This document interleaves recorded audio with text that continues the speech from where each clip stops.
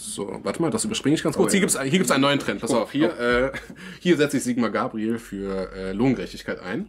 Und zwar wird jetzt ein Lo äh, Trend gesetzt, Gesicht zeigen für Lohngerechtigkeit. Und dazu gibt es ein total unvorteilhaftes äh, Bild, wo er äh, unangenehm nah an der Kamera ist und ein bisschen so, äh, ja, wie beschreibt man diesen Gesichtsausdruck? Ist es so, er sieht nicht wirklich glücklich aus, ich weiß nicht. Also das ist jetzt mein Gesicht zu dem Gesicht, was er macht.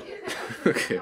Es ist sein Gesicht für Lohngerechtigkeit. Das, das wäre so, das wär so, als ob, hey Reik, mach mal ein Gesicht zu Lohngerechtigkeit. Psst. So, das war. okay, würdest, was würdest du sagen, ähm, wie viel, äh, wie nenne ich das am besten, aber wie viel näher sind wir an Lohngerechtigkeit dran nach diesem Selfie?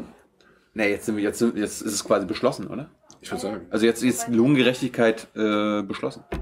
Und macht dieses Gesichtszeigen für etwas nicht am meisten immer dann Sinn, wenn es normalerweise Leute sind, die nicht so im Rampenlicht stehen, sondern wenn so die äh, oder meinst du, es soll so der Startschuss sein für eine Kampagne, dass auch äh, ich zum Beispiel jetzt ein Selfie von mir mache und für Lohngerechtigkeit mich einsetze mit diesem Foto? Ich frage mich, was das, was das überhaupt soll.